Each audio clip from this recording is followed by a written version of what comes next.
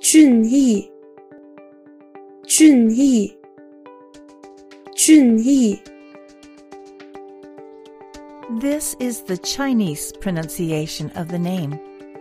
The same name may exist in other languages with different pronunciations. Check other possible pronunciations or similar names for free at voxifier.com.